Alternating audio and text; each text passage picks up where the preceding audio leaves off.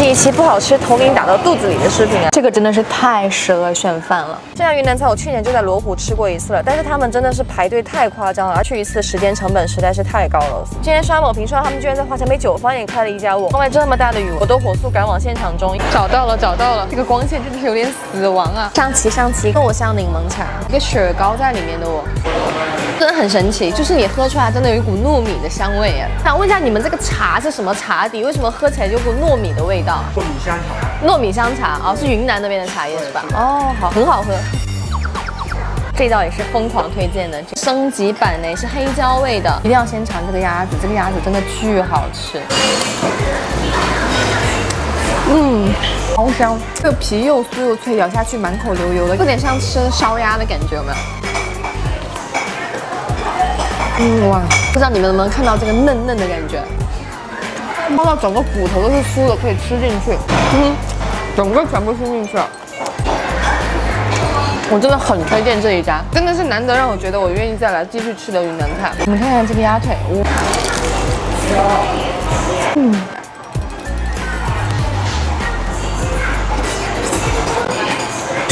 黑椒味其实，在下面那一层，上面皮这一层是没有什么黑椒味的。我今天点的这些，就是部分是我上次吃过，比如说这个小鸭子，还有那个浇头炒肉末，还有那个绿茶。这个他们是把酱料都给我们拌好了。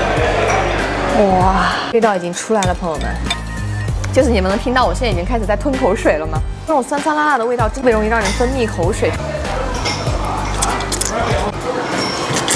有个小缺点，它味道很不错，吃起来口感有点略软。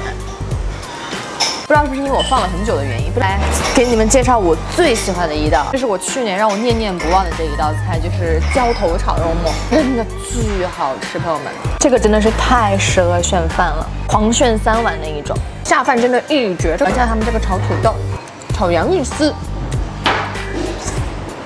他们这个土豆丝我觉得应该是小朋友会很喜欢那种，为什么？因为它吃起来是软的，完全不是那种脆的口感。我觉得应该是没有泡水，把那个淀粉泡出来吧，软软入口会化那种感觉。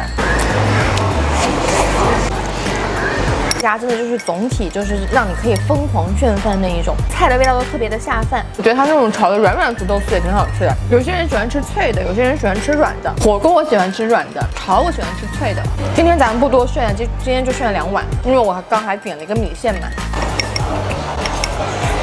嗯，做完。好了，咽下去了。你们来的话，我给你们推荐三样不会踩雷的东西。一个就是这个糯香柠檬茶，我觉得它真的很特别，你在别的地方喝不到的。还有就是那个浇头炒肉末，还有他们那个招牌的鸭子，那叫什么？具体叫什么我也忘了，反正就是他们那个招牌的鸭子，我觉得那个真的很好吃，入口又嫩又脆。别的你们就看着自己点吧，我就那种比较下饭的菜。今天的炫饭就到这里啦，我们下期见吧，拜拜。